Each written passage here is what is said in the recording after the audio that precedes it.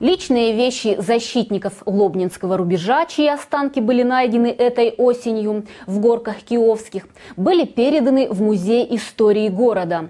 Наша съемочная группа увидела военные реликвии. Часы наручные.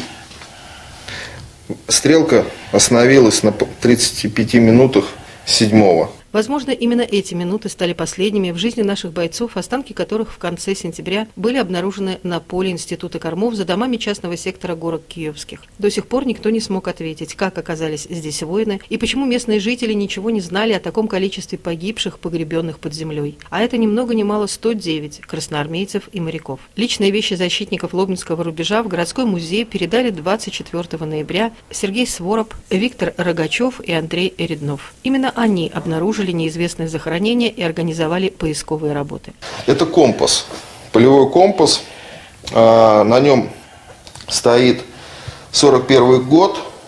И, если не ошибаюсь, зуб и звезда красноармейцы, красная звезда. Частая находка поисковиков – перочинный ножик, кожаный ремень, половинки химических карандашей для удобства, вставленные в гильзы от ППШ, пистолета-пулемета Шпагина. Еще с десяток таких карандашей. Ими писали свои нехитрые письма бойцы. Часы, компас, красноармейские звездочки, оттиск с пуговицы с якорем, пряжки. С трудом можно понять, что вот этот кусочек высохшего дерева – катушка для ниток. А это обязательный для каждого бойца набор для чистки и регулировки винтовки СВТ, самозарядной винтовки Токарева, но при этом ни у одного из них не было при себе оружия. Рассматриваем несколько спрессованных листочков сохранившейся газеты или книги с описанием оказания первой медицинской помощи. Принадлежала она санинструктору или использовалась солдатами для самокруток, так называли папиросы, свернутые из бумаги, а может в качестве стелек в промокшие ботинки. Это только наши теперь предположения. Вот а, каждую вещь дотрагиваешься, и ты предполагаешь, что это, у кого это, для чего это, кем он а был. Дотрагиваться страшно, потому что все рассыпается. Да.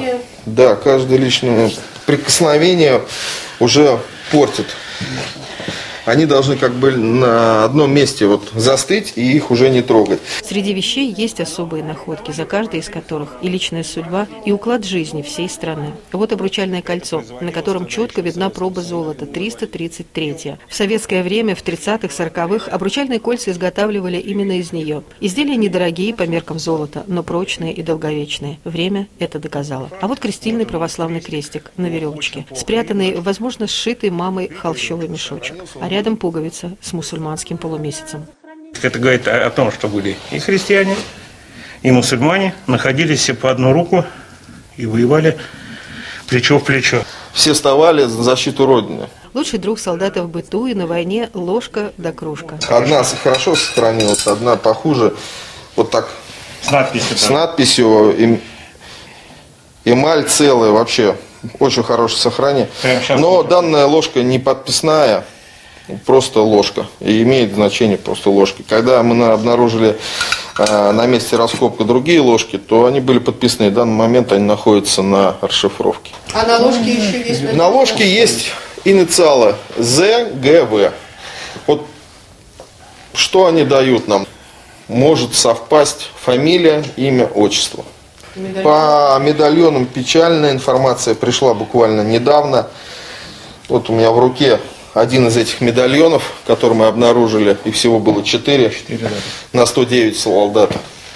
Данный медальон при вскрытии на месте, на поле, имел очертания бумаги. Но время, вода сыграла роль, и бумага не принесла нам фамилии и имена героев – которые погибли. Часто в карманах шинели и гимнастерок поисковики находят монетки, которые солдаты брали из дома на счастье, чтобы вернуться. Они вернулись, без малого, через 80 лет. Их личные вещи теперь будут храниться в музее. Для фронтовых реликвий, которые были подняты с места гибели наших красноармейцев, мы подготовили вот такую витрину. Обязательно будет описание, потому что это такое святое место. Здесь наши земляки погибшие – Здесь святая земля, священная, с мест боев. Здесь грамота, которой награжден наш город, населенный пункт воинской доблести. Здесь же ведем рассказ на макете о тех событиях, которые происходили в декабре 1941 года. Торжественное перезахоронение останков защитников нашей Родины в братскую могилу на Пучковском поле на Красной Поляне состоится 8 декабря. На церемонии ожидаются гости из Свердловского кадетского корпуса. Их земляки сражались во втором и третьем стрелковых батальонах 64-й отдельной стрелковой бригады, которая на рубеже Луговая-Лобня защищала столицу и понесла серьезные потери, большей частью без вести пропавшими. Сколько еще солдат, не вернувшихся с войны, предстоит вернуть их родным и нашей общей истории. Лариса Панина, Константин Петров, Михаил Жуков, телекомпания «Лобня».